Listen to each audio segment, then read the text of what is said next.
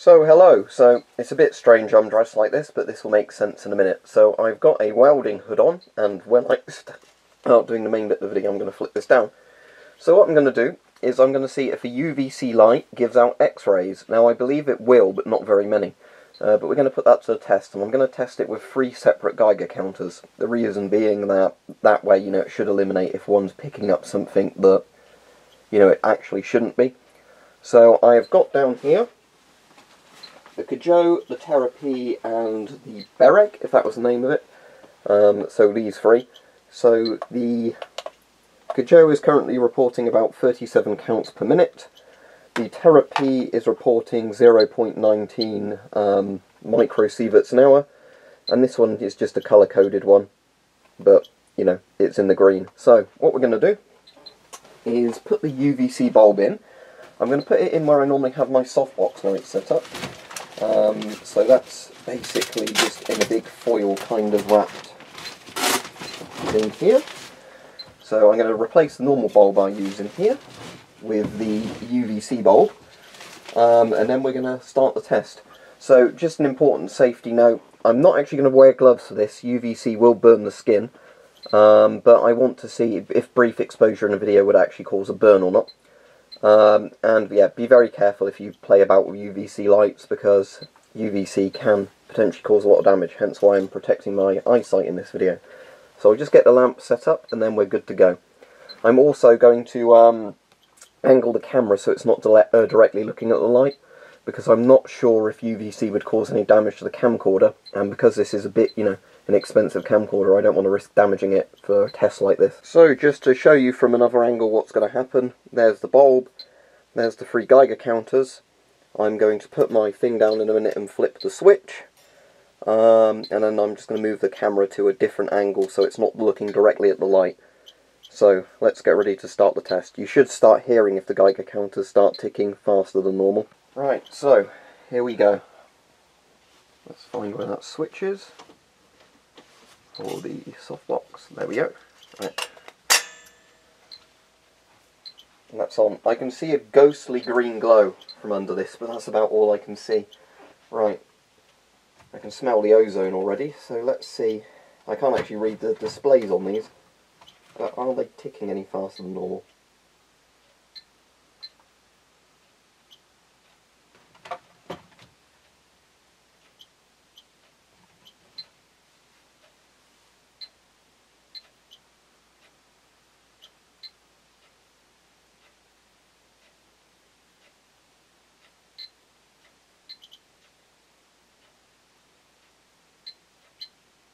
I'm just going to try holding some of them directly closer to the tube.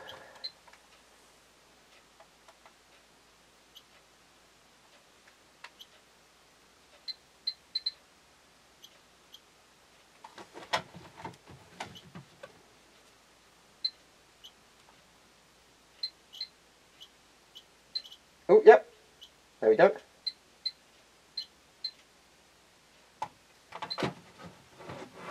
Let me see with this one, if I just look away and raise that, 850 counts per minute. Bloody hell. Hopefully that's visible where I'm holding it. 850 CPM. It's gone down to 580 now. Let's put him back under. What's this one saying? This is saying a normal amount of microsieverts, 0.18.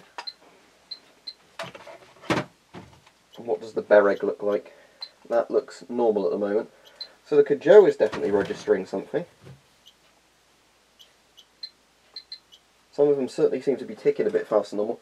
But anyway, I think that will conclude the test for my own safety of my eyes. Um, let's flick the light off. If I can find the switch. Right, there we go. So, let's open that back up. Actually, I can pull the welding hood off now because the UVC lamp is switched off. Right, hopefully when I held those up you could see the readings. But, yeah, the Kujou was the only one that went high. That went to a 1003 counts per minute, which is very high. Uh, what's that in microsieverts? Oh, I forgot to actually have the beep on, 6.64. So, um, quite a lot higher than background. So, whether or not this is artificially reporting from that, I don't know.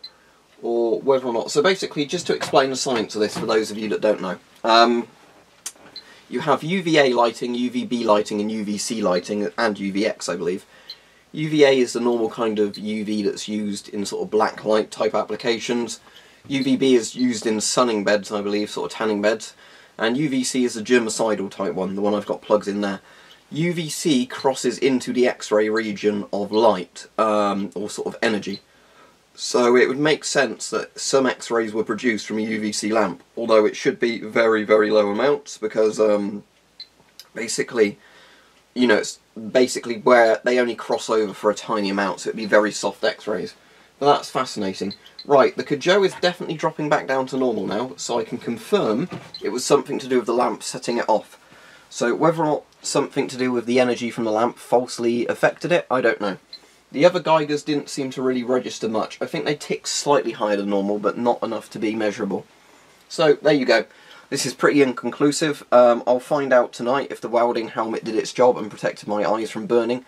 Um, because as I said, it just was a very faint green through there. So um, I doubt we can tell if there's been damage to my eyes yet. Um, and we'll also see later on if my skin starts peeling off my hands um, from that brief exposure to the UVC. They don't smell like burnt pork at least, so um, there's that. But anyway, hope you found this interesting, as I can smell a lot of ozone in the air though, because of bloody UVC. Um, but yeah, hopefully this has been an interesting video for people. Um, sadly it's a bit inconclusive, at least one of the Geigers definitely went much higher than background uh, due to the UVC. But whether or not that was something else interfering it to do with, I don't know, like some sort of electrical circuit type thing, I don't know. The others I think chirped a bit faster than normal, but nothing that would really stand out. But anyway, there you go. Um, I can always try this test again with other Geiger counters. If it's the ones on the wand, I can actually much safely, you know, safely do it because I can essentially go around the corner, flick the lamp on, flick the Geiger on, and um, see if there's any measurements coming through that way. But yeah, UVC, quite an interesting thing.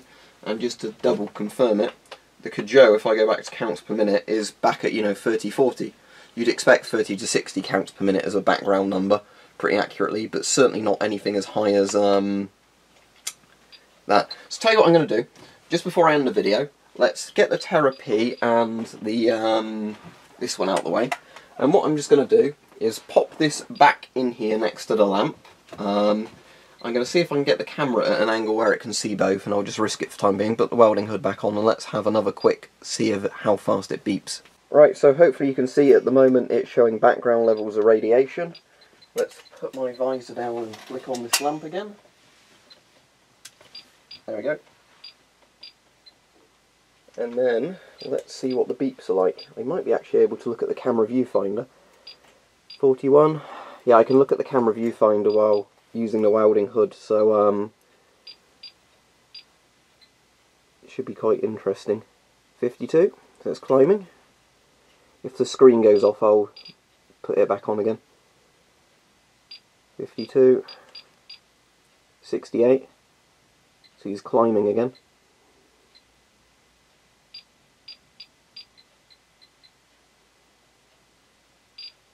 Sixty-five. So that's not actually climbed any higher. Let me just refresh the screen on it. That gone back on? Yeah.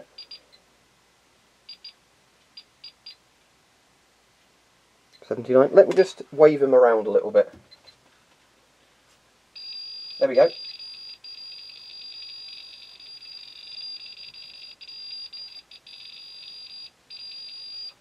Ah, so it seems to be almost like beta radiation how it's coming through. And that's interesting. Um, let's go back to microsieverts. Let's just um,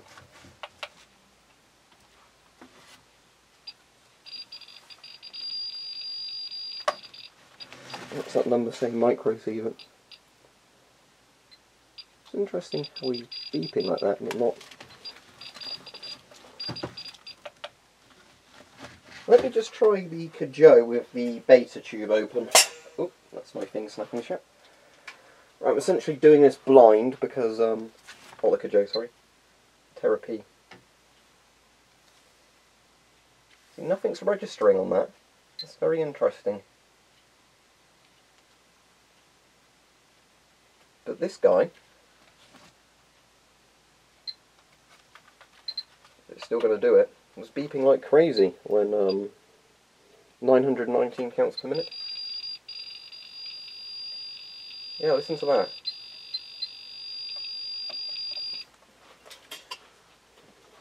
That's insane, but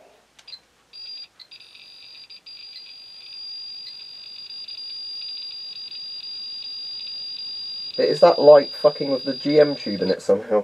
I, I really don't know.